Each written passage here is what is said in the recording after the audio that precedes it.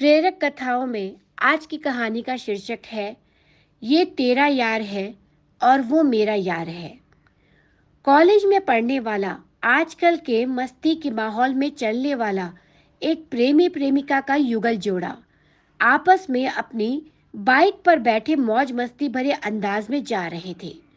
रास्ते में एक पान की दुकान में उन्होंने बाइक रोकी और दोनों सिगरेट लेकर फूकने लगे। उस पान की दुकान के बगल में नीचे एक फकीर अपने में मस्त लगा बैठा था। तभी मस्ती मस्ती में कॉलेज की युवती ने सिगरेट के धुएँ को उस फकीर की तरफ़ फूकना शुरू किया। फकीर युवती की तरफ़ देखकर हल्के से मुस्कुराकर अपने में मस्त हो गया। युवती ने अपने आशिक से कहा कि देखो, ये मुझे देखकर मुस्कुरा रहा था और तुम चुपचाप देख रहे हो। युवक ने कहा, छोड़ो, फकीर है, ऐसे ही मुस्कुरा दिया होगा।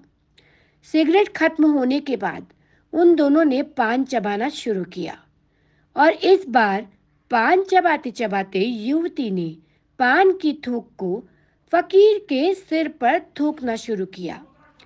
इस बार भी फकीर मुस्कुराकर अपने में मस्त हो गया। इस युवती से रहा नहीं गया और अपने यार से बोली तुम कैसे यार हो? ये फकीर बार बार अपनी बुरी नज़र से मुझे देखकर मुस्कुरा रहा है और तुम तमाशा देख रहे हो। फिर क्या युवती का यार जोश में आ गया और उस फकीर के पास जाकर उसे गाली देता है। लेकिन फकीर इस बार भी मुस्कुराता हुआ अपने में मस्त हो जाता है। फकीर की मुस्कुराहट उस युवती के यार को अपनी बेइज्जती लगती है। अपनी जवानी के जोश में उस फकीर के गाल पर एक झापड़ रसीद कर उसकी जेब में पड़े दस रुपए के नोट को हवा में उड़ाते हुए वह निकल जाता है और दोनों उस पर खिल्ली उड़ाते हुए अपनी बाइक से रफ्तार में कुछ दूर ही निकलते हैं कि उनकी बाइक से सड़क पार करता हुआ एक छोटा सा बच्चा टकराकर घायल हो जाता है और बाइक का बैलेंस बिगड़ते ही दोनों सड़क किनारे कीचड़ में गिर जाते हैं। गिरते ही युवती का पूरा मुँह कीचड़ से सन जाता है और कीचड़ में पड़े पत्थर से टकराकर उसका सर भी खून से लथपथ हो जाता है। और कुछ देर बाद, जब उस घायल बच्चे के परिवार को ये बात पता चलती है तो फिर क्या पूरा गाँव ही उमड़ा पड़ता है। सड़क पर उस युवती के प्रेमी पर शराब और लापरवाही पूर्वक गाड़ी चलाने का इल्ज़ाम लगाते हुए उसे खूब पीटते हैं लोग। कोई गाल पर जड़ते, कोई सर पर, जिसको जहाँ मिला मारते गए। और वहाँ इकट्ठी कुछ भीड़, हँसते और मज़े लेते तमाशा देखते रही।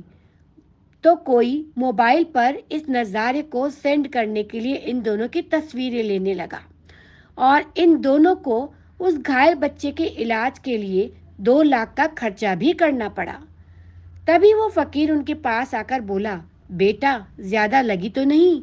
और फकीर बोला, तुमने मेरी पहली मुस्कुराहट का मतलब समझा होता तो शायद मैं अपने यार को रोक भी लेता। लेकिन इन युवक युवती को फकीर की यह बात कुछ समझ में नहीं आई। फिर इस फकीर ने उन्हें पूरा मामला समझाते हुए कहा कि जब तूने मुझ पर सिगरेट का धुआँ उछाला तो मेरे यार को ये बात पसंद नहीं आई। लेकिन मैं तो मुस्कुराकर बात टालने की सोच रहा था। तूने फिर मेरे सर पर पान की थूक फेंकी। मेरे यार को और ज़्यादा गुस्सा आया और मैंने फिर मुस्कुराकर बात शांत करने की सोची। फिर तेरे यार ने मुझे गाली दी। मैंने तब भी मुस्कुराकर बात वही ख़त्म करनी चाहिए लेकिन जब तेरे यार ने मुझ पर हाथ उठाया तो मेरे यार से ये सहा नहीं गया और फिर देख मुझ पर धुआँ फेंकने के बदले तेरा मुँह ही कीचड़ से रंग दिया। मुझ पर पान की लाल थूक फे, तूने फेंकी। मेरे यार ने तेरे सर को लाल लहू से रंग दिया। तेरे यार ने मुझे गाल पर एक झापड़ रसीद किया। लेकिन तेरे यार पर जो लोगों ने तमाचे जड़े उनकी तो गिनती ही नहीं। और तुम दोनों जाते जाते मुझ पर खिल्ले उड़ाते गए। लेकिन मेरे यार ने तुझ पर ना जाने कितने लोगों को हंसवाया और तेरी इन शक्लों की तस्वीरें ली और तुम्हारा तमाशा बन गया और तेरे यार ने मेरी जेब से दस का नोट निकालकर हवा में उड़ा दिया। लेकिन बदले में उसे अपनी जेब के दो लाख निकालने पड़े। क्या करूँ? मेरे यार की यारी ही ऐसी है। मेरी ज़रा भी तकलीफ़ उससे देखी ही नहीं जाती।